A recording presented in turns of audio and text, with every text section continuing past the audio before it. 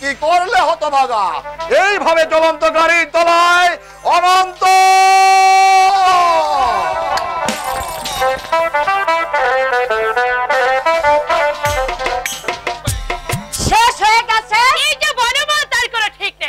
এত সহজে মরে ওরা। দুটো পা একদমই যেতে বসেছিল, বুঝলে? একটা পা কেটে বাদ দিতে হয়েছে। আমি তো ভেবেছিলাম, দুটো পাই গেছে। দেখলাম। হ্যাঁ? সাহায্যের জন্য এসেছে? এই চার মাসে কম করে হলেও ওদের পেছনে দু লাখ টাকার বেশি খরচ হয়েছে। এবার যদি টাকা পয়সা কিছু দেয় না একজোট হয়ে যাবে ওর সঙ্গে আমার। তোরাই বা থেকে দিবি বাঁচা এক ছেলে দার্জিলিং এ পড়ছে। তার পিছনে এক গাদা টাকা খরচ। তিন তিনটে মানুষ বসে বসে খাচ্ছে। তাদের পিছনে ফালতু খরচ। আমি আমি তোমাদের অনুরোধ করছি মা ওদের সংসারের মধ্যে তুমি আর নাক গলাতে এসো না। সাহায্য করুক আর না করুক সে বুঝবে শৈলেন। তুই থামতে বাবু আমার মেয়ে ভালো মন্দ দেখব না। কথায় বলে নিষ্কর্ম শ্বশুরের বচন মিঠে বসে বসে খাই শীতল পিঠে। গ্রানিগিরি করে যা পেয়েছিল মেয়ের বিয়ে দিয়ে তো শিখতে তুমি বড্ড বাজে কথা বলো মা। তোমার মেয়ের জন্য তোমার প্রাণে যতখানি মমতা ওদের মেয়ের জন্য ওদের প্রাণে ততখানি মায়া। তাছাড়া অনন্তের এই দুর্ভোগের জন্য দায়ী তো শৈলেন। কি বলছো তুমি দাদা? তোমার ভগ্নিপতি! অনন্ত যেদিন গাড়ির সামনে ঝাঁপিয়ে আত্মহত্যা করতে গিয়েছিল অনন্ত শৈলেনই তাকে উত্তেজিত করেছিল। কোন এক দুর্বল মুহূর্তে এই কথা আমাকে বলেছে শৈলেন। কিন্তু গরিব আত্মীয় স্বজনদের সম্পদ প্রাপ্তিতে শৈলেনের মতিগতি হয়তো বদলে যেতে পারে কিন্তু তুই তো অর্থ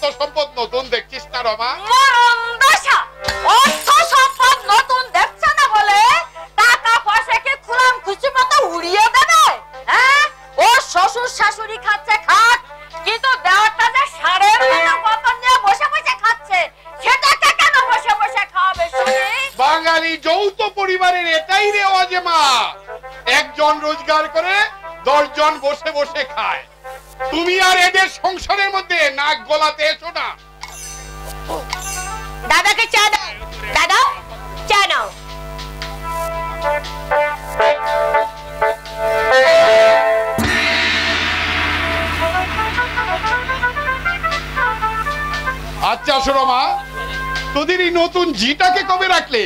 ও মা ঝি কোথায়? এ তোমার শাশুড়ি। তোমার চোখে চশমা লাগাও দাদা চশমা লাগাও। উনি তো শাশুড়ি। কিন্তু এই পোশাক পরিচ্ছদ ঝিয়ের মতো কিনা তাই আমার একটু বুঝতে ভুল হয়েছে। না মানে আর শৈলেনেরও বেশ বুদ্ধি শুদ্ধি হয়েছে দেখছি। অযথা জিয়ের পিছনে এক গাদা টাকা খরচের কোনো মানই হয় না।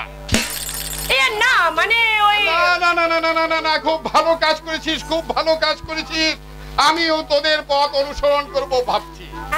আরে দু দুটো জি বসে বসে মাইনে নিচ্ছে। ওদেরকে ছাড়িয়ে দিয়ে কাল থেকে জিয়ের পুষ্টে বহাল করব। যদি না শাশুড়িকে দিয়ে জিয়ের কাজ করাতে পারে আমি কেন পারব না মা? হাজার হোক রমা আমার বোন। মক্ষদার হরিদাসীকে কালই আমি দূর করে দেব। আর কাল থেকে তুমি হবে আমার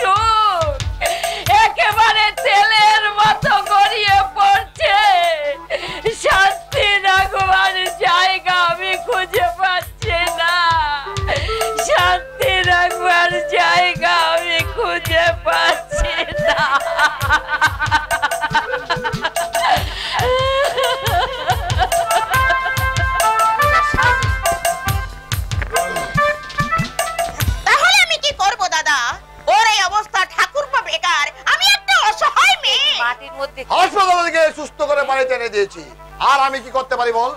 সারাটা জীবন। তোদের বোঝা বহন করা কি আমার পক্ষে সম্ভব? তাহলে কিছু টাকা পয়সা দাও। একটা স্টেশনারি দোকান নিয়ে বসুক। টাকা পয়সা এখন দেওয়া আমার পক্ষে সম্ভব। তিন তিনটে গাড়ি পেট্রোল খরচ। ড্রাইভারদের মাইনে। দেবুকে প্রতি মাসে পাঁচ হাজার টাকা করে পাঠাতে হচ্ছে। তার উপর আছে আত্মীয় স্বজন লোক লৌকিকতা এসব যদি তোরা না বুঝিস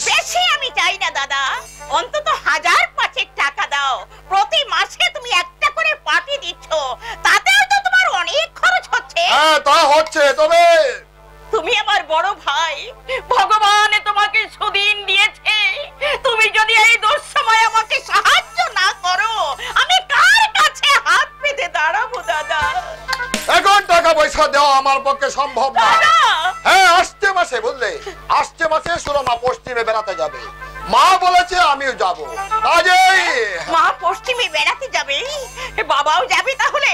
আমার যদি এই দুর্বিপাক না হতো আমিও মায়ের সঙ্গে দু চার দিন ঘুরে আসতে পারতাম। আরে না না আরে মা সংসার বেলে কোথায় যাবে? এই যে বললে মা যাচ্ছে। আরে মা মানে সুরমার মা মা শাশুড়ি বুঝলে?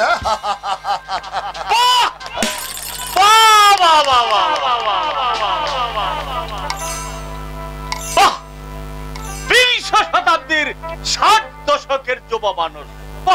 তোমাকে ধন্যবাদ দেওয়ার ভাষা আমি খুঁজে পাচ্ছি মা বেটিকে সংসারে ঘানিতে জুড়ে দিয়ে শাশুড়ি মাকে তীর্থ দর্শন করতে নিয়ে যাচ্ছ। দেখুন। Let me finish my boy এই সমাজটাকে আমি তীর্থক দৃষ্টিতে দেখে চলেছি। আজকের সমাজে আসলের চেয়ে নকলের কদর বেশি। এ যুগের তরুণেরা বিবেকানন্দের খবর জানে না। ধর্মেন্দ্র কুস্তি ঠিকজি তাদের নখদর পড়ে আপনি? একটা শিক্ষিত ছেলেকে জিজ্ঞাসা করে দেখো। উমেশ চন্দ্র ব্যানার্জি কে ছিলেন? বিপিন চন্দ্র পাল কল্পনা দত্ত বীরা দাসগুপ্ত পারিন ঘোষ তাদের ডাব দত্ত। যতীন্দ্র মোহন গুপ্তের নাম জানে কিনা? জানে কিনা অরিন্দ বারিন্দ বসে পরেন ঘোষের কথা। বলতে পারবে?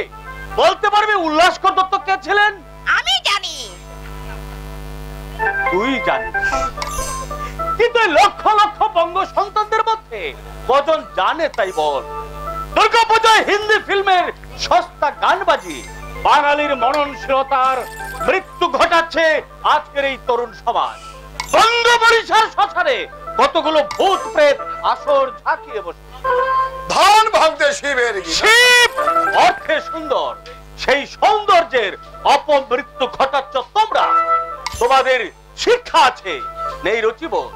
তোমাদের মন আছে কিন্তু নেই মনের উদারতা। অপসংস্কৃতির ধ্বজা ধরে অবক্ষয়ের পথে এগিয়ে চলেছ তোমরা। ঠিক ঠিক ঠিক ঠিক ঠিক ঠিক আমি তাহলে কি করব দাদা? বললাম তো টাকা পয়সা দেওয়া আমার পক্ষে সম্ভব না। তাহলে কি আমি উপোস করে মারবো? তুই চলে আমার কাছে। তোমার কাছে বিনে মাইনের ঝিলের কাজ করতে। তার মানে? মানেটা আমাকে জিজ্ঞাসা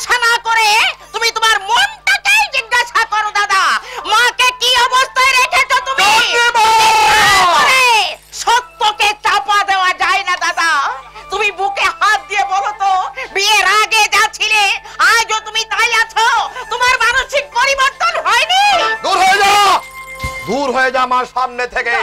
তোর মতো বুনের তোর মতো বুনের মুখ দর্শন করতে আমি চাই না। জীবন জীবন তোদের পিছনে স্নেহ মমতার অপচয় করেছি। তোকে শুধু লেখাপড়া শেখাইনি নাচ গানও শিখিয়েছি। নিজেরা কষ্ট করে তোর বিয়েরও সহ্য পেয়েছি অথচ তোরা এমন বেঈমান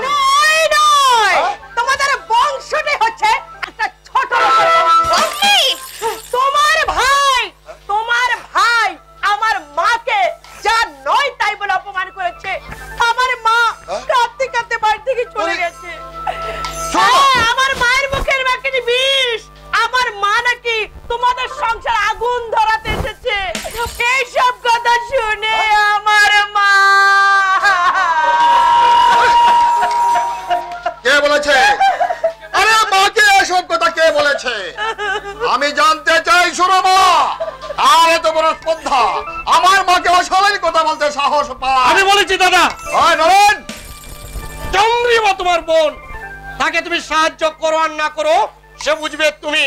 বাইরের লোক এখানে এসে নাক গলাতে আসবে কেন? শুনছো? ওর কথাগুলো তুমি শুনছো? আমার মা আমার মা নাকি বাইরে এলো আমি আমি তোকে সাবধান করে দিচ্ছি নরেন। আমার ভাত যদি খেতে হয় তাহলে আজে বাজে কথা একদম বলবি না তুই। মাকে মাকে আমি দেবীর মতো শ্রদ্ধা করি। মাকে নয় দাদা মাকে নয়।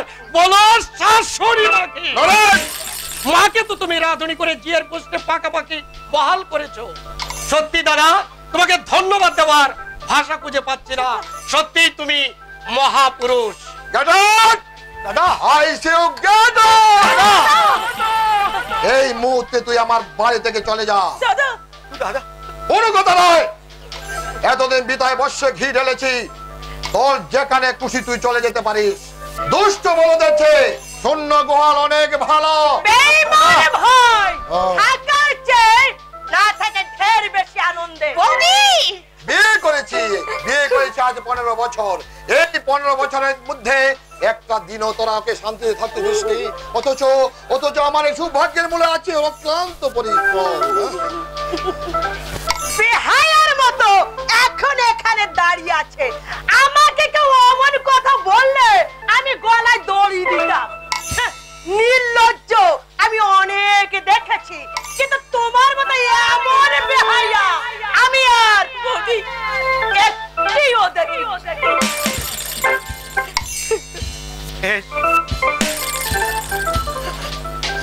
আমি আমি চলে যাচ্ছি দাদা। তোমার কাছে সত্যি আমি কৃতজ্ঞ। একদিন তুমি আমাকে ভালোবাসতে মনে পড়ে মনে পড়ে দাদা সেই ছোটবেলার কথা।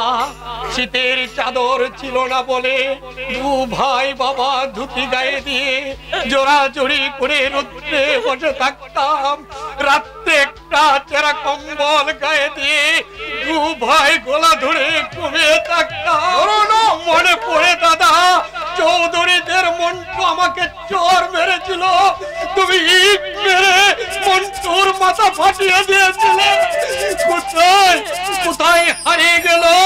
আমার সেই ছোটবেলার দাদা।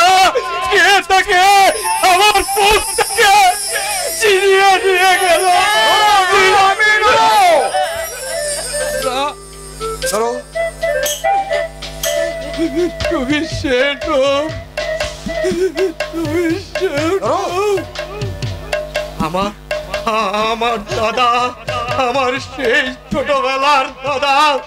হারিয়ে গেছে ধন সত্যের অন্তরালে। নিচে চাপা পড়ে গেছে। তার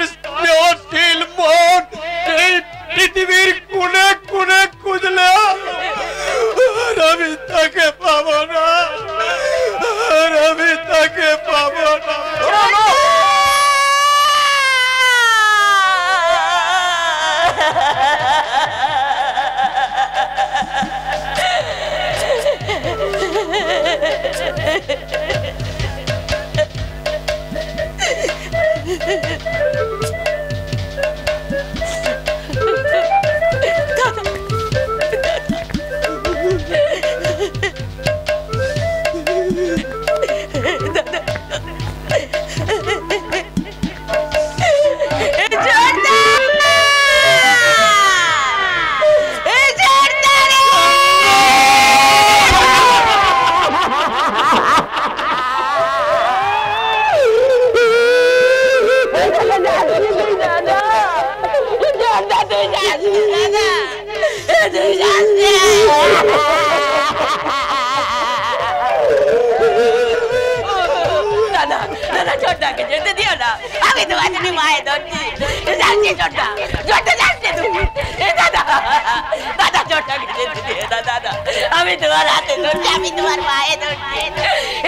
এ ছোট্টাকে যেতে দিও না এ ছোট্টা ওরে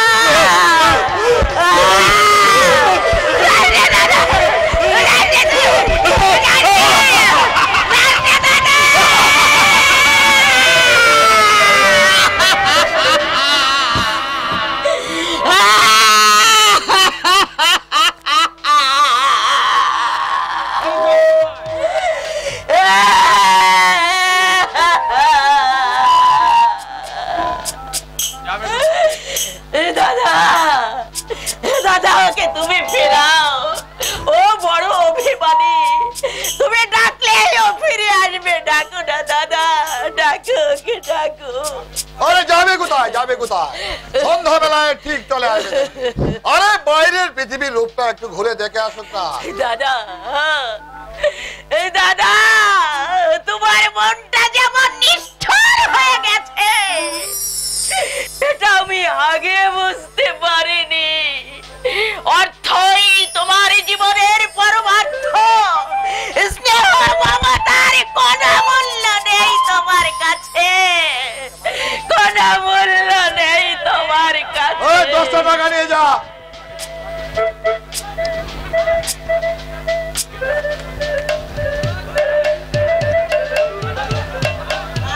দশটা টাকা। দশটা টাকা।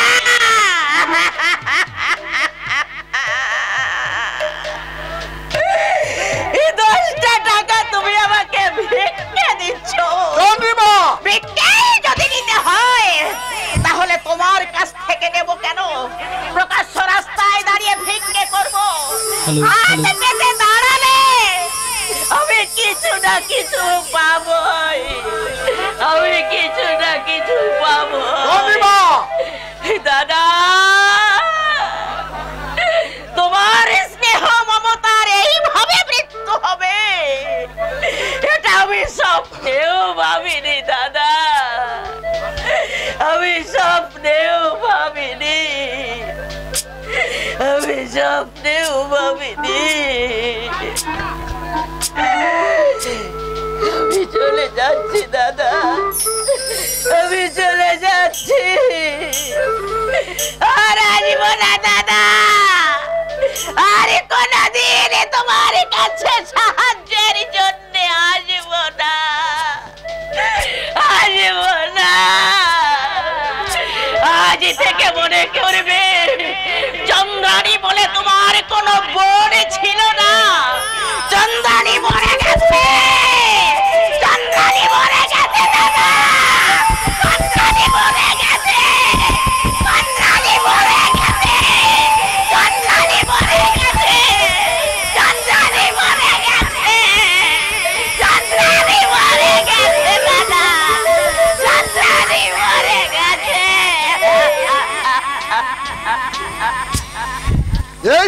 সব কথা কোনো মানে হয় টাকা পয়সা যতক্ষণ দিতে পারো তুমি ভালো।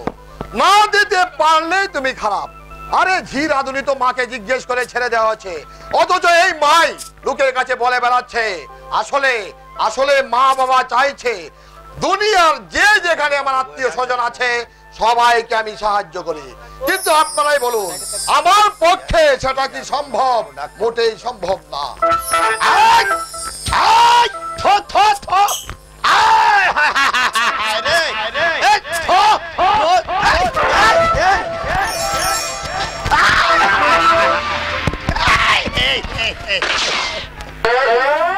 শালা শালা এমন ভাড়াতে আমার অফিসে ঢুকে দিল। ভাড়া দেবার তো নামই নেই একটু পরিষ্কার পরিচ্ছন্ন আরে বাড়িটাকে যে একটু পরিষ্কার পরিচ্ছন্ন করে রাখবে তারও বেলা নেই। রে অনন্ত বাবু অনন্ত বাবু বিলাস বাবু এলাম। এলাম। ওরে আপনার চন্দ্রবোধন দেখতে দেখতে দেখতে এলাম। তা কি ঠিক করলেন মশাই? বলে দু বছরের ভাড়া আজই দিবেন না পুচকা পুচকি নিয়ে গুইং করবেন? দেখুন বিলাস বাবু এখনও আমি জোগাড় করে উঠতে পারবেন না। এ পারবেন না মশাই এই জন্মে আপনি আমার ভাড়ার টাকা জোগাড় করতে পারবেন না। কেন শুধু শুধু আমাকে ওই বাস মশাই? তার চেয়ে কাইন করে অন্য স্থানে প্রস্থান করুন আপনিও বাঁচুন আমিও বেঁচে যাই। আমার অবস্থা তো আপনি নিজের চোখে দেখতে পাচ্ছেন। আরে পাচ্ছি বলে তো দু বছর থাকতে দিয়েছি। আরে মশাই আপনার না হয় দেড়খানা ঠ্যাং। কিন্তু যার দুখানা ঠ্যাং উস- আস্ত আছে সে তো কিছু করতে পারে। পল্টু। হ্যাঁ, হ্যাঁ মশাই আপনার ভাই পল্টু। ওরে সে তো কিছু রোজগার করতে পারে। ওরে রিক্সা চালালে তো রিক্সা চালালে তো রোজ দু চার পাঁচ টাকা রোজগার হয় নাকি? পল্টু কিছু কিছু দিচ্ছে সংসারে। চন্দ্রাও চাকরির জন্য চেষ্টা করে যাচ্ছে। কথা কি জানেন বিলাস বাবু অদৃষ্টের উপর কারু হাত নেই। আমার বড় সম্বন্ধে নাম করা কন্ট্রাক্টর, তার বোন কিনা? আরে জানি মশাই, জানি জানি, হা আজ না সেরেন গাঙ্গুলি, আঙুল কলা ওরে, এক সময় আমারও বাড়িতে ভাড়া থাকতো ওরা অনেক কষ্টে অনেক কষ্টে জীবন গাঙ্গুলি ও ছেলেকে মানুষ করেছে। কেরানির জীবন। শৈলেন্দা বলে গেছেন, সেই কান্নার ইতিহাস অত্তের নিচে চাপা পড়েছে। শৈলেঙ্গাঙ্গলের সুবেদনশীল মন স্নেহ মমতা তান্ত্রিকগুলো ছিঁড়ে গেছে। নইলে দিন। আগে ভাড়ার টাকাটা তো দিন। আগে আমি তো আরে আজে বাজে কথাই বলিয়ে বেশ বাঁচতে আরে মশাই আমরা হলাম জাত ব্যবসায়ী। সাধু খায়রা পিঁপড়ের মুখ থেকে গুড় এনে খায়। আপনি আমাকে ওই পাঁচ দিতে পারবেন না। আজ আমি থেকে দেই বলুন? একটি পয়সা আমার কাছে নেই। মাঝে মাঝে ইচ্ছে হয় আবার গাড়ির সামনে ঝাঁপিয়ে পড়ে। শেষ করে দে আমার এই দুর্বিষহ জীবন যন্ত্রণা। এই এই, দুর্বুদ্ধি ছাড়ুন মশাই, দুর্বুদ্ধি ছাড়ুন। এই, আপনার সেই দুই ঠেঙ্গলা ভাইটি কোথায়? পল্টু আজ তিন দিনই বাড়িতে নেই। আমরা স্বামী স্ত্রী উপোস করে রাত কাটিয়েছি। আপনি বিশ্বাস করুন বিলাস বাবু উপায়ে থাকলে আপনাকে বিমুখ করতাম না। কাঁদবেন না মশাই কাঁদবেন না কাঁদবেন না। এই, এই, এই, ঠিক আছে ঠিক আছে। ওই এক বছরের ভাড়া আমি ছেড়ে দিচ্ছি। ওরে আর এক বছরের ভাড়াটা আমাকে দিন। আগে আমি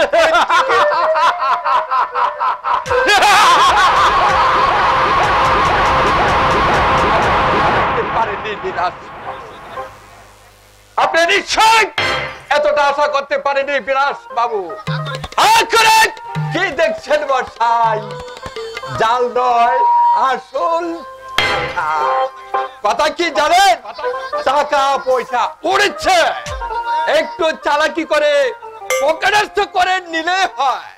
আর দেখুন। ওই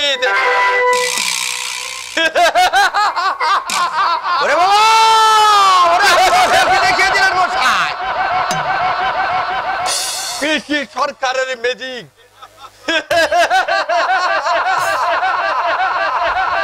দাদা দাদা দাদা জীবন সংগ্রামে হেরে গেল কিন্তু আমি হারবো না। এই সমাজের বুকে মাথা উঁচু করে বাঁচতে চাই। মানুষের মতন সম্মানে বাঁচতে চাই। কিছু বলবে দাদা? দাঁড়া আগে বাজার থেকে চাল আর মাংস কিনে নিয়ে আসি। দিন সুস্থে শুনব তোমার কথা। এত টাকা তুই কোথায় পেয়েছিস? রোজগার করেছি হ্যাঁ, হ্যাঁ, হ্যাঁ, রোজগার করেছে রোজগার কোন পথে? যে পথে হোক তা তোমার জানবার দরকার নেই। নিশ্চয় নিশ্চয়। বলি টাকার গায়ে কি লেখা আছে? কোনটা শত পথের আর কোনটা অশত পথের? আমার বাড়িতে তুই ঢুকবে না অসতিপথকে চিরদিন আমি ঘৃণা করে এসেছি। তাই জীবনে আমার দারিদ্রী ঘুষল না। আমি উপোস করে মরব।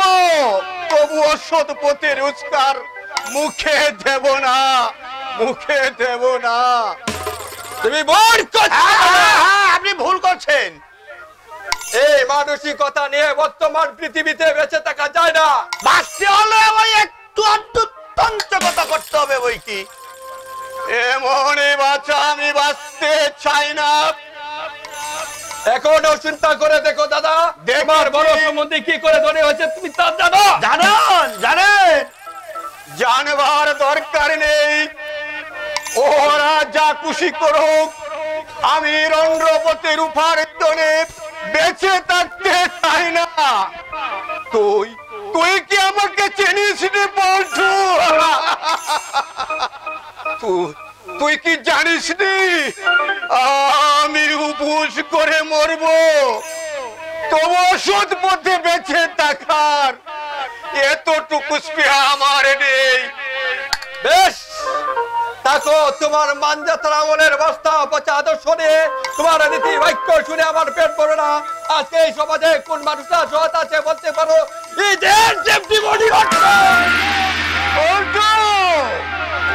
শুধু সাধুতা দেখাতে গিয়ে তুমি শুধু পরে পরে মার কাটছ না। বৌদিকে তিলে তিলে হত্যা করে চলছো। বৌদি ভালো বংশের মেয়ে বলে এই দুঃখ, কষ্ট, নিরবে সহ্য করে চলছে। অন্য মেয়ে হলে সে তোমার গরিব না দাদা? আদর্শ বলেছে মন হয়তো বলতে পারে দাদা। কিন্তু পেটের ঝালা বাক্য মানে না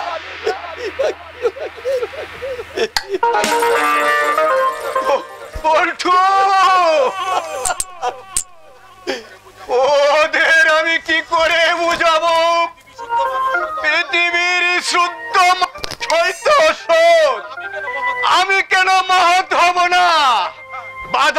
বাধা! ওরে বাধা হচ্ছে নামক রাক্ষস। বিলাস বাবু। প্রত্যেকটা ধনির ইতিহাস খুঁজে দেখুন। কাউকে পাঁচটা দিয়ে কটা লোকে ধনী হয়েছে কেউ বাস দিয়েছে সরকারকে কেউ বাস দিয়েছে সদর ভাইকে। আবার কেউ বন্ধুকে বাস দিয়ে সমাজের মধ্যমণি হয়ে আছে। কিন্তু বাবা!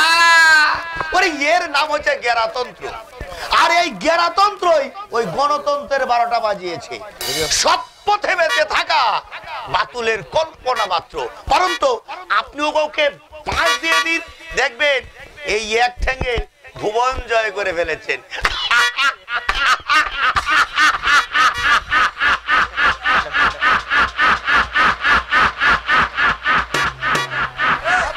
সহজ পদে বেঁচে থাকতে আমি ছাই না। একটা পাহাড়ে আমি হকারি করতে বেরোবো। তাতে কোনো লজ্জা নেই আমার।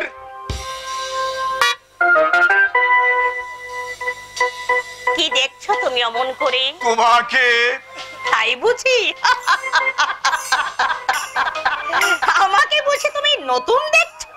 সকালে বেরোলে ময়লা শাড়ি পরে ফিরে এলে রাজরানীর বেশে আমি ঠিকই বুঝতে পারছি না চন্দ্রা। কি করে এটা সম্ভব হলো? তুমি কি আলাদিনের? প্রদীপ পেয়েছি।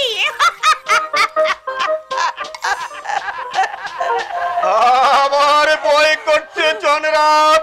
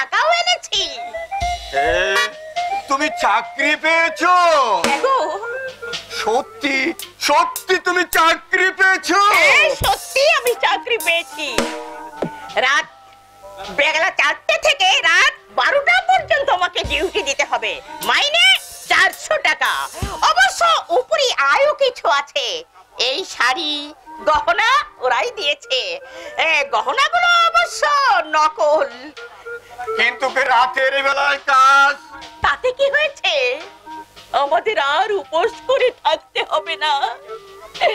তোমাকে আর নোংরা পোশাক পরতে হবে না। সহ্য করতে হবে না বাড়িওয়ালার তাগিদা। মুদি, তার ছেল্ল দৃষ্টি নিয়ে আমাদের দিকে তাকাবে না।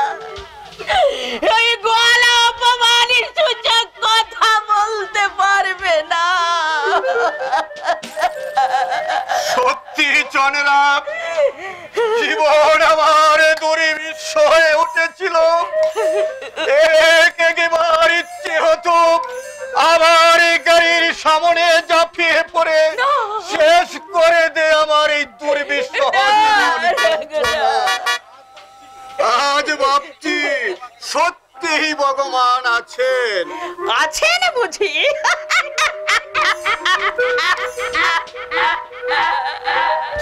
তুমি তুমি কাঁদছো চন্দ্রা গো তুমি আমাকে ভুল বুঝো না। এই চোখের জলে দুঃখের নয় আনন্দের। দু বছর আগে আমার দাদার কাছে আমি সাহায্যের জন্য গিয়েছিলাম। দাদা আমাকে দশটা টাকা ভিক্ষে দিতে চেয়েছিল।